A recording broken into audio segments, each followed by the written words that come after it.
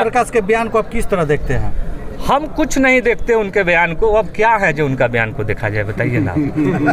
अगर कुछ रहते तो उनको प्रकाश जी जब सांसद नहीं हुए थे तब मेरे परिवार के मेरी माता जी एम हुआ करती थी।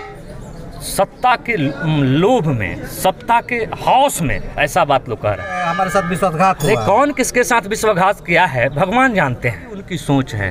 मैं कभी शहाबुद्दीन नहीं बनूँगा, बनने का प्रयास नहीं करूँगा। एमपी के चुनाव में चला ही नहीं, दरौंदा में विकास नहीं हुआ, सिवान में विकास नहीं हुआ, नीतीश कुमार कुछ नहीं किए, नरेंद्र मोदी कुछ नहीं किए चलाए कि नहीं एमपी के चुनाव में?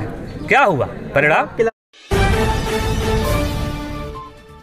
और रही बात नेताओं की बात, कौन क्या कहता है इसकी चिंता नहीं है। चिंता इस बात की है कि जनता क्या कहती है। जनता एनडीए के पक्ष में है, जनता जो है आदरणीय नीतीश कुमार जी के विकास के पक्ष में है। इसको जनता देखती है और कौन क्या दो लोगों को कह देने से कोई कुछ नहीं होता। ओम प्रकाश क्या व्यक्तिगत कोई दुश्मनी के चलते ऐसे बयान दे रहे हैं क्या? अब उनसे पूछिएगा जो क्यों ऐसा बयान दे रहे हैं। हम तो दे नहीं रहे हैं। हम अपनी बात बताएँगे वो अपनी बात बताएँगे। क्या लगता है इस चुनाव में अपराधी टैग का एक मुद्दा लगा? अपराधी का परिभाषा क्या है? अपने कार्यकर्ताओं को कटवाते रहना राजगद्दी पर बैठे रहना यही शराफत की यही शराफत की परिभाषा है। और अपराधी का क्या परिभाषा है? जंगल राज को ख़त्म कर दे वो अपराधी। जंगल राज को मिटा दे वो अपराधी है। जंगल राज को सफाया कर दे वो अपराधी है। अपराधों अपराधियों को जो है शांत करा दे अपराधियों को ठिकाना लगा दे वही अपराधी है। इस तरह के आरोप तो ओम प्रकाश यादव द्वारा ही लगाया जा रहा है जो आपके व्यक्तिगत पार्टी के बहुत समर्थक हैं एनडीए के हिस्सा है वो। हिस्सा ओम प्रकाश जी यहाँ के सांसद हैं सम्मानित लोग हैं।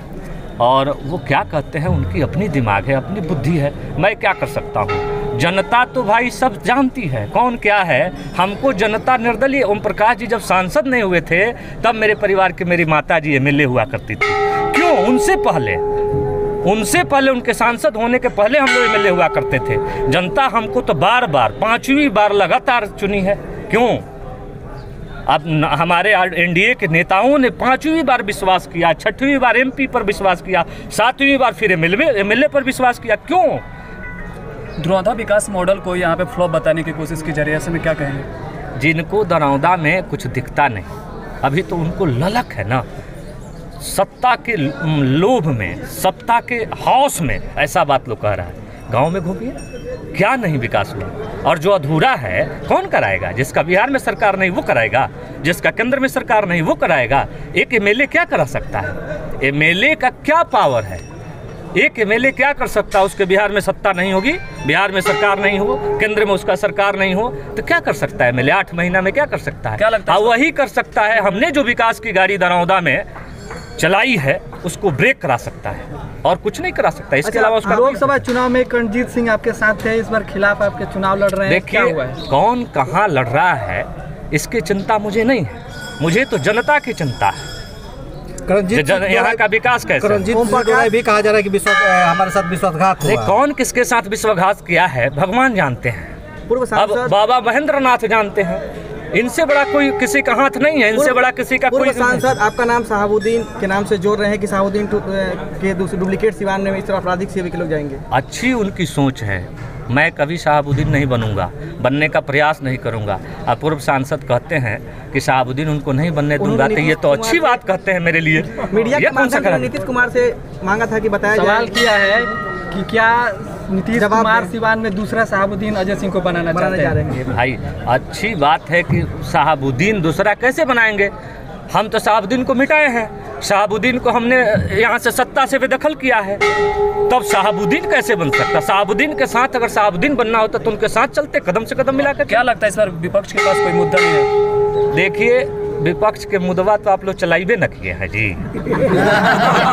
ये तो एमपी के चुनाव में चला ही नहीं दरौंदा में विकास नहीं हुआ सिवान में विकास नहीं हुआ नीतीश कुमार कुछ नहीं किए नरेंद्र मोदी कुछ नहीं किए चलाए कि नहीं एमपी के चुनाव में क्या हुआ? परिणाम? की लड़ाई किससे होगी? किसी से लड़ाई नहीं है यहाँ काउंटिंग होगा तो पता चल जाएगा किससे लड़ाई है। कोई लड़ाई है जी? कौन कौन लड़ने वाला है बताइए। परिवारवाद का पर आरोप लग रहा है कि अपनी पति सांसद हैं और आप किसने लगाया है परिवारवाद का रोल? विपक्ष का आरोप लगाया है। विपक्ष का अपने मुखिया है। अपने जिला पार्षद है अपने एमपी है तो कोई परिवारवाद नहीं है जी। और दूसरे को परिवारवाद दिखने लगा। काम करेंगे हम मजदूरी आपको मिलेगा। काम करने वालों को देखिए एमपी से नवाजा जाता है एमएलए से नवाजा जाता है बार बार एमएलए से नवाजा जाता है। क्यों? काम करने फकबाजी करते हैं पाँच ताला पिटवा लिए हैं हम। ऐसी बात तो नहीं है ना जी। मीडिया के कई गो कंपनी खुलवा क्या कहना हैं चाहेंगे? मीडिया के माध्यम से ओम प्रकाश यादव को कुछ कहना चाहिए नहीं नहीं ओम प्रकाश जी बड़े भाई हैं उनको हम कुछ नहीं कहेंगे उनकी अपनी सोच है जो कर रहे हैं। मैं उनके बारे में कुछ नहीं कहूँ पूर्व सांसद का एक सवाल है कि जब आपको चुनाव लड़वाना ही था तो सांसद का चुनाव टिकट क्यों नहीं दिया गया? पैसा क्यों बर्बाद किया गया? वही हमारे नेता वही हमारे नेता हैं जो तय करेंगे हम कब कब चुनाव लड़ेंगे। हमारा नेता तय करेंगे। नीतीश कुमार जी हमारे नेता हैं, नरेंद्र मोदी जी उनके सहयोगी हैं और रामविलास पासवान जी हमारे सहयोगी हैं, वो लोग ना तय करेंगे हमको कब चुनाव लड़ाना है। ये लोग नहीं ना तय करेंगे जो हमको कब चुनाव लड़ाएँगे, जी। ओम प्रकाश के बयान को आप किस तरह देखते हैं? हम कुछ नहीं देखते उनके बयान को अब क्या है जो उनका बयान को देखा जाए बताइए ना अगर कुछ रहते तो उनको बयान को देखा जाए। के लिए काम करने आए हैं। नामांकन जब घोषणा होगा हम कैंडिडेट होंगे तब ना हम नामांकन करने जाएँगे भाई। क्या एक बताइए आप सांसद हो गई और आज आपके पति भी विधायक के सीट के दावेदार हो रहे आपको कैसा लग रहा है? देखिए ये सब बाबा महेंद्र नाथ की कृपा है।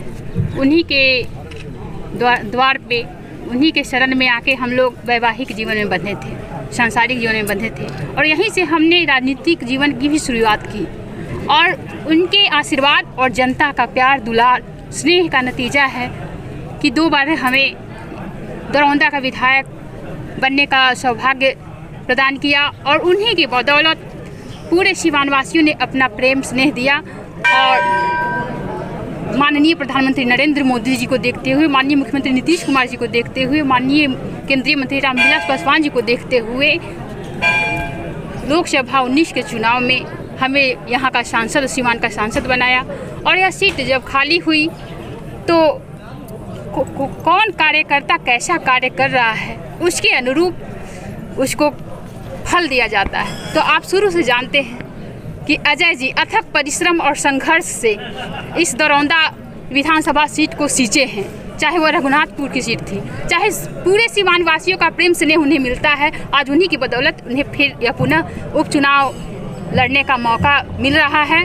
और मैं जनता जनार्दन से आग्रह करूँगी, निवेदन करूँगी कि अपने पुत्र और बहू पे जो प्रेम स्नेह आप लुटाते आए हैं और मौका दीजिए कि मैं आपके कार्यों को जो छूट गया है एक साल के लिए वो पुनः अपने रथ आगे बढ़े और यहाँ का विकास हो। इसी आशा और विश्वास के साथ सभी को धन्यवाद करते हैं। अपनी वाणी को विराम देती जय हिंद।